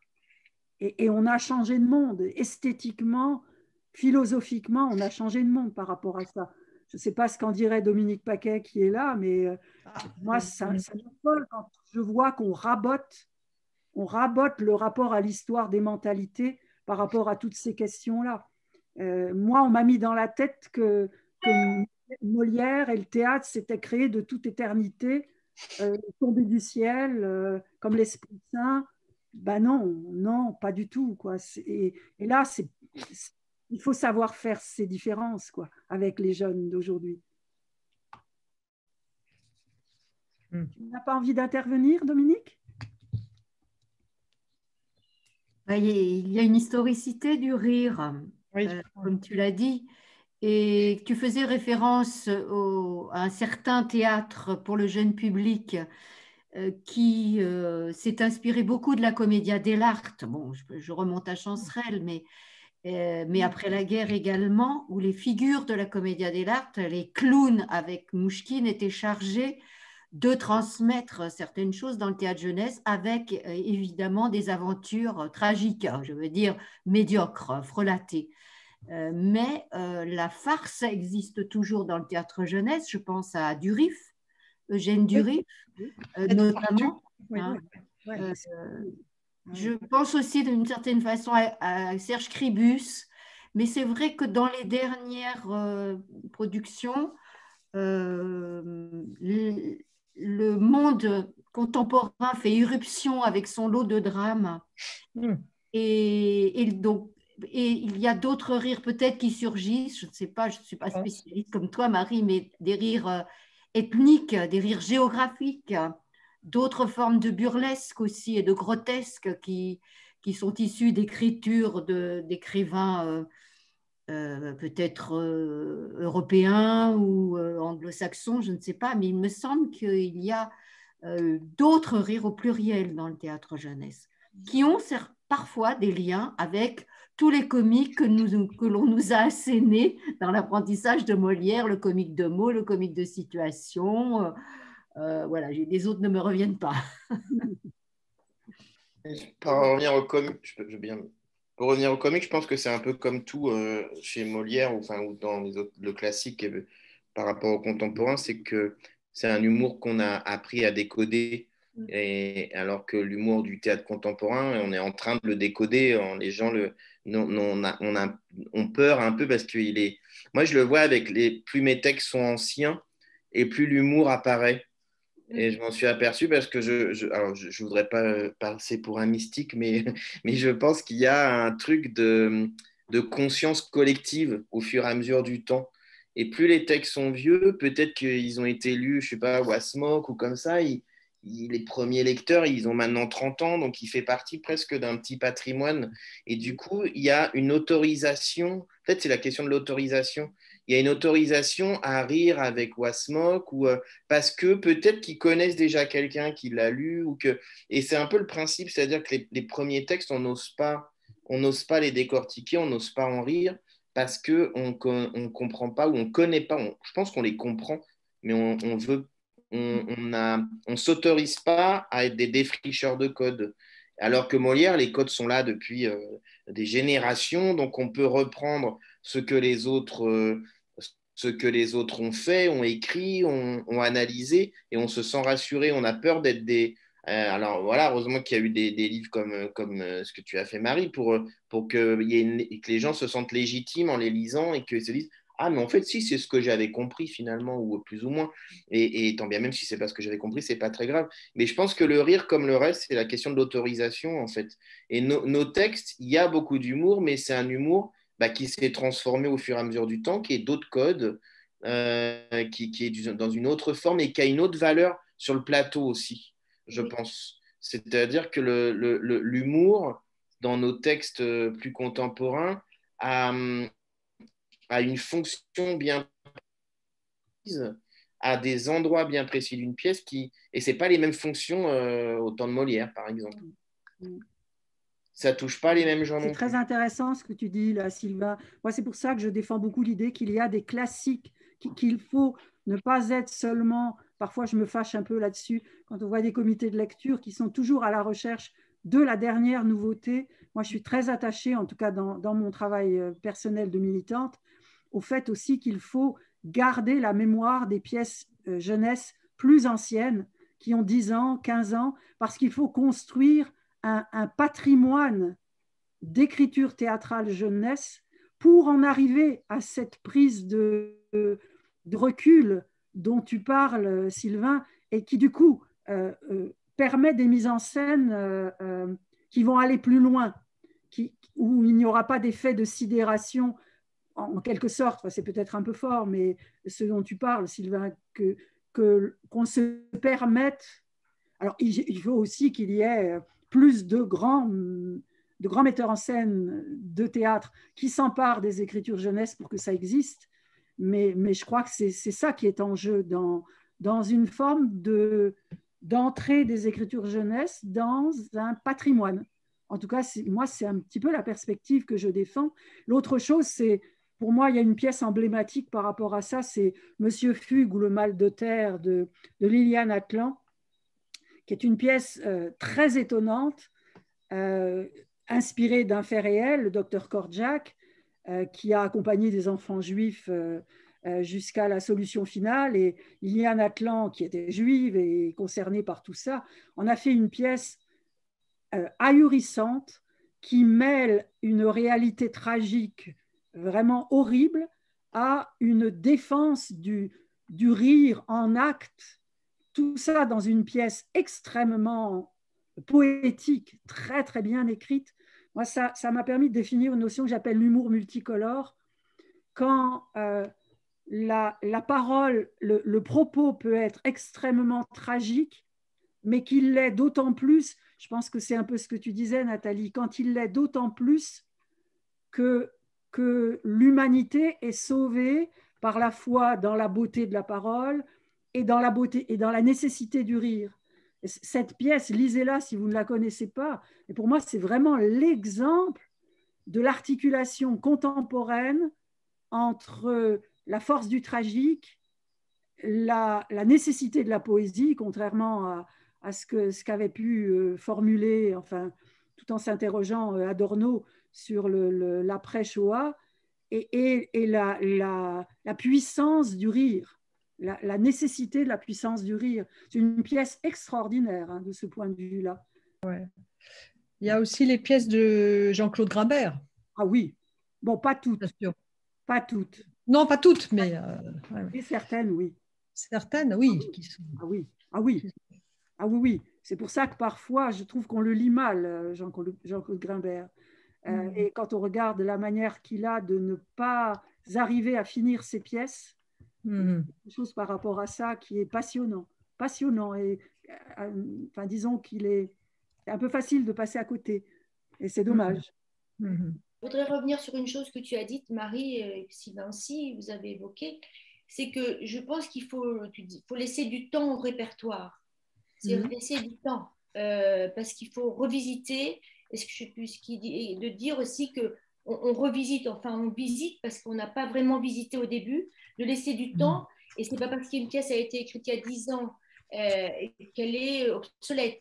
Et ça, c'est les comités de lecture aussi, les, ouais, moi je sais Marie, et les appels, je te vois, et les à texte, et, non mais parce que c'est toujours la, course à l'inédit euh, dans les appels, dans les comités de lecture, et c'est euh, bon, et, en fait, il faut ce qui a été écrit il y a 10 ans, euh, les, pièces, elles circulent, elles bougent. Moi, je vois ma pièce Terre, elle, est, elle a mis 8 ans, elle a été jouée, on est nominé au Molière.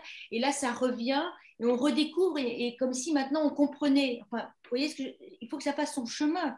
Ça fait bien 400 ans qu'on lit Molière. Quoi. Et je pense que l'idée de, de, de, de, maintenir, maintenir au sens plein du terme, et de dire, relisez, lisez, si vous avez parcouru, lisez, quoi. prenez en compte ce répertoire je te rejoins là-dessus. Moi, je le mets en œuvre dans, dans l'association Théâtre à la page dont je m'occupe et je vois les effets que ça produit sur les lecteurs euh, ah de l'association. C'est-à-dire que on, je, je, vois les progrès dans la capacité à lire du très récent chez certaines de, des lectrices de, de l'association qui ont vraiment énormément progressé, mais dans ce jeu entre la lecture de pièces qui ont 10 ans, 15 ans, en, même temps que, que, se découvrent des pièces beaucoup plus récentes. Et les deux sont vraiment nécessaires. Et c'est vrai que c'est un peu dommage parfois qu'on soit dans la course, euh, y compris pour certaines compagnies. Euh, les, effets pervers de la commande, c'est parfois qu'on se prive de la ressource de pièces plus anciennes. Alors on, cherche à faire des coups, mais c'est un peu dommage. Moi, c'est quelque chose que j'ai tendance à, enfin, à critiquer, ou tout du moins sur, sur quoi j'ai des réserves. Je trouve que parfois, il y a des compagnies qui ne se donnent pas la peine d'aller chercher sur une thématique qui les intéresse ce qui s'est écrit il y a 10 ans, 15 ans, et qui, qui, qui, qui, qui a à vivre, qui, qui, qui doit vivre, enfin, et qui enrichit le travail de mise en scène. C'est parfois dommage. Alors, puisqu'il nous reste euh, un quart d'heure, euh, voilà, je vous, je vous, montre les trois pièces sur lesquelles j'avais envie qu'on fasse un petit, un petit focus. Pour Nathalie, qui rira verra, ça s'imposait. Euh, pour euh, Sylvain, une pièce, une courte pièce dans euh, Théâtre en cours 3, Victor Lamouche. Et pour toi, Lise, Pacotille de la Resquille. Alors, euh, dans, dans l'ordre qui vous va, euh, comment est-ce que dans chacune de ces pièces, vous, vous parleriez, pour chacune de ces pièces, donc comment vous parleriez de, de votre relation à, au rire? Oh, ben, Moi, dans Victor, euh, une, pour le coup, c'est une farce. Hein. Ben après, c'est une farce aussi, la relation au rire. Pour le coup, là, c'est vraiment n'y a, pas une seule ligne où j'essaye pas de faire marrer, mais parce qu'aussi c'est une pièce courte. Euh, et que je me disais sur, sur 20 minutes, euh, on peut se permettre ça. Euh, c'est aussi, c'est aussi. En fait, moi, j'ai été bercé dans les premiers auteurs parce qu'on parle de Molière, tout ça, mais on, parlait qu'effectivement, je suis d'accord qu'on est les héritiers de tout ça, mais il y a effectivement toute une partie de l'histoire du théâtre qui est, à part Coltès, Lagarce, etc., mais il y a plein d'auteurs. En fait, il y a toute la génération des années 80 qui a vachement disparu de la circulation, alors que c'est des gens qui ont quand même créé le théâtre contemporain, que ce soit euh, les Azama, les Mignana, les Renaud. Par exemple, on parle de Molière, mais moi, mon éditeur, Pierre Banos, il dit qu'une des plus grandes autrices, c'est Noël Renaud.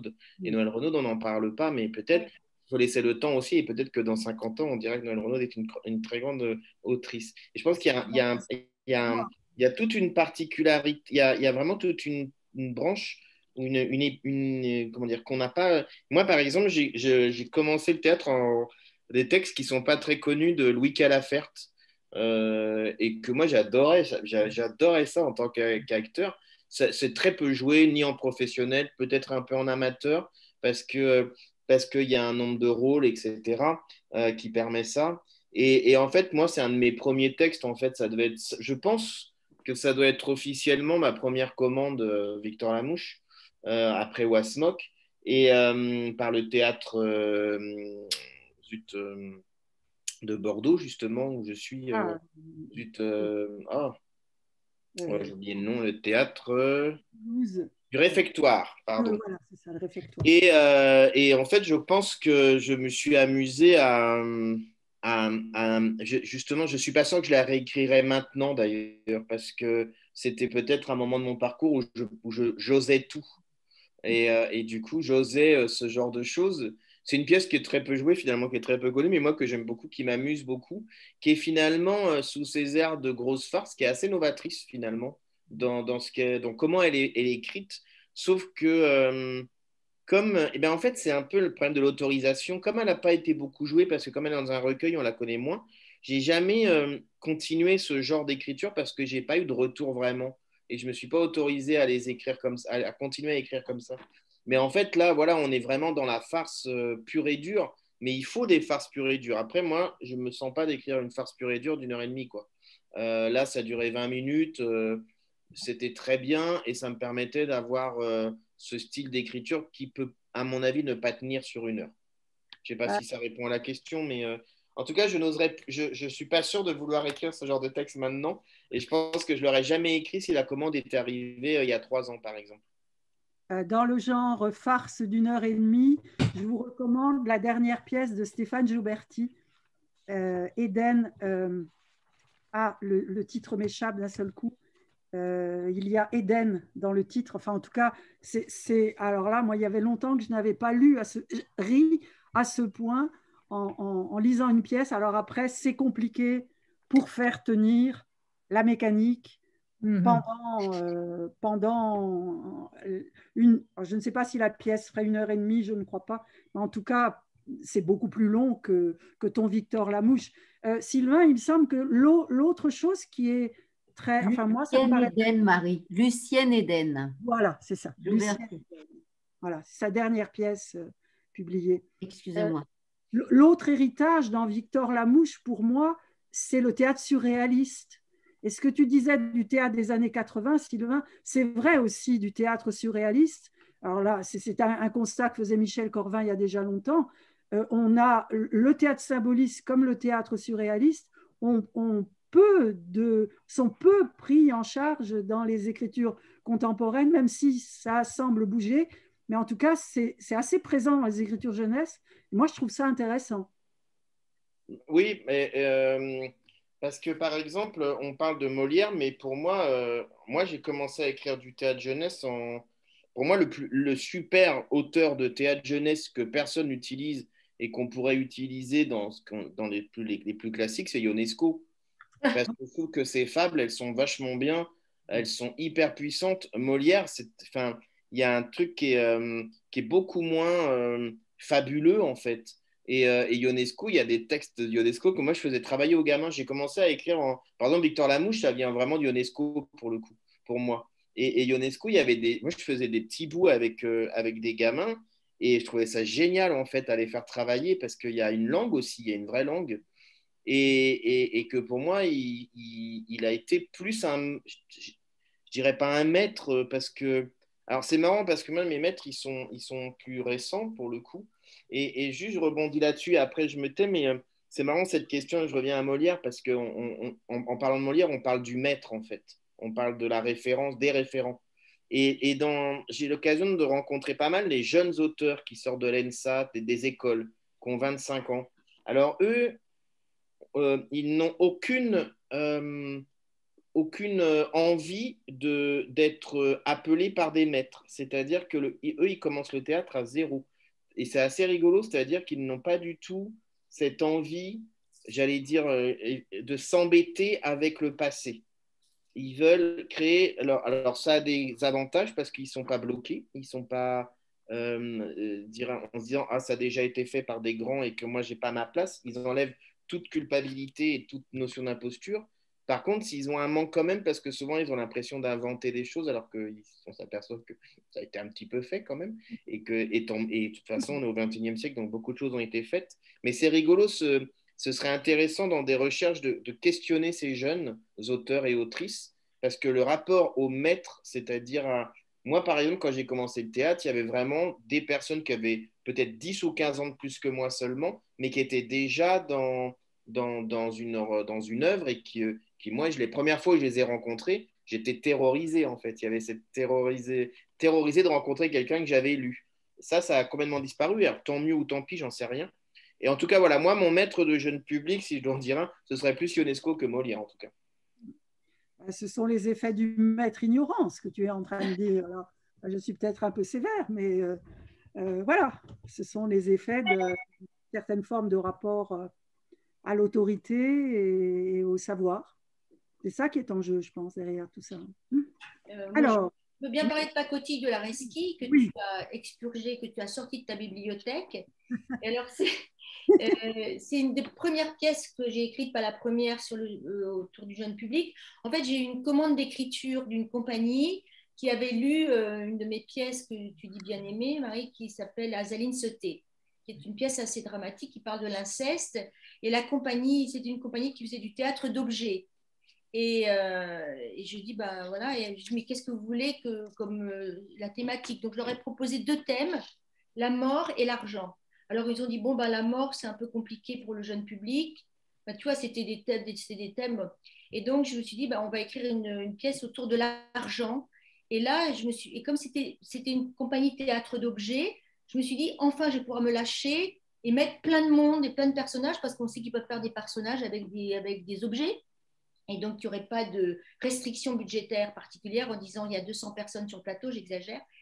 Et donc, euh, je me suis un peu lâchée sur cette pièce.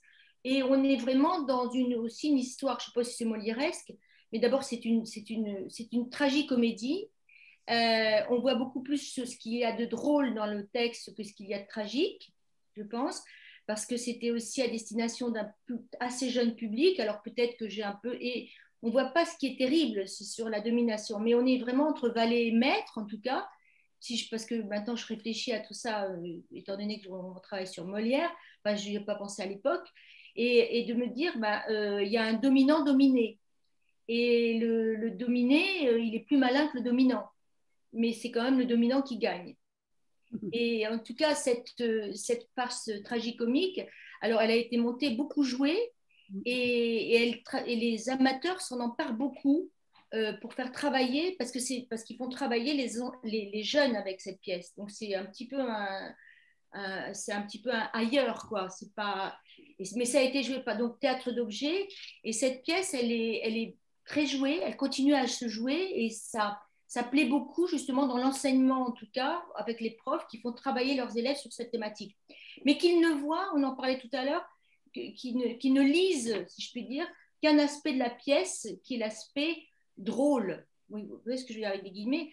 Et, pas l'aspect que finalement on est dominé par le, un capitalisme plus que rampant. Quoi. Et, et cette pièce, elle est, c'est là aussi, comme il y a beaucoup de métaphores, et la métaphore peut parfois nuire aussi, c'est-à-dire qu'on passe à côté aussi de ce qui peut être drôle, de ce qui peut être grave, pardon. Par contre, le drôle, ça passe. Donc, euh, donc le théâtre d'objet, voilà comment cette pièce est. Et j'ai eu beaucoup de reproches des professeurs parce que j'ai mélangé les Grecs et les Romains, j'ai mélangé tous les dieux. J'ai fait une espèce de, peau comme ça et j'avais envie, de, j'avais envie de faire venir plein plein de monde, mais vraiment par rapport aussi à l'économie du théâtre, aussi en se disant, bah là, c'est du théâtre d'objet, on, peut y aller. Et donc cette pièce a, beaucoup tourné. Et ensuite, j'ai eu d'autres commandes où on m'a dit, est-ce que tu peux de nouveau écrire une pièce drôle sur l'argent? Donc je l'ai fait une fois et je rejoins Sylvain, je, pense que je n'écrirai plus cette pièce aujourd'hui. C'est-à-dire qu'il y, a un fil qui est tendu, qui est ailleurs. Et, mais, mais ce qui, les avait, ce qui les avait, leur avait donné envie de me donner à écrire une pièce, c'était par rapport à l'écriture, à la langue. Et là, je, je, leur ai fait complètement autre chose. Quoi. En fait, euh, j'ai dévié. Alors, Nathalie, il faut qu'on regarde l'heure. Alors, qui, qui, ira verra. Ouvre ton micro, Nathalie. Toujours mon micro pour pas avoir de bruit parasite. Ah oui, Kiri Ravera, j'ai justement une pièce sur le rire, c'est le thème. Et euh, sur notamment, mais alors le rire, quel rire euh, Le rire, euh, le rire qui manque et qui manque au point que le personnage va jusqu'à une forme de folie. C'est peut-être un misanthrope, le, mon personnage là principal qui est un adulte hein, d'ailleurs, Hard, il s'appelle Hard. Un peu comme un clown aussi. Ben, c'est une figure clown tragique qui est incapable de rire et qui enferme ses enfants dans son, dans son, dans son atelier euh, pour les exercer au langage enfin, et leur raconter des histoires. Et le rire est interdit, justement. Et, plus le rire est interdit, plus les, les mômes euh, se racontent des histoires euh, qui, dans une forme qui est très, inévitablement drôle. Donc il y, a, tout un... Et c'est la seule pièce où un de mes personnages meurt à la fin et il meurt parce qu'il il est incapable de rire. Euh, voilà, et qu'il n'a pas, et, qu'il a perdu son enfant Louis, lui, son enfant lui, euh, il y a très longtemps, quand il était dans un pensionnat, qu'il avait un pyjama de toutes les couleurs, alors que ses camarades en avaient des, avaient des uniformes, des pyjamas uniformes bleus, et qu'il n'a pas pu transformer cette, enfin, cette agression en, drôlerie. Enfin, en, voilà, euh, il y, a tout ce glissement. À quel moment euh, euh, on glisse dans le rire quand quelqu'un est dans une situation délicate? Bah, c'est le, coup de la banane, c'est-à-dire voilà, quelqu'un qui tombe, c'est quand même pas génial, mais ça, voilà, soit évidemment, voilà, c'est à quel moment ça, déclenche le rire ou ça déclenche soit la consternation, etc. Mais c'est, une pièce qui m'a donné du fil à retordre, mais que voilà, que j'aime bien. et en plus, ça m'a fait travailler. J'ai été interrogée des, des enfants sur l'absurde et ça a été fabuleux tout ce que les enfants ont pu me raconter. Et euh, euh, voilà.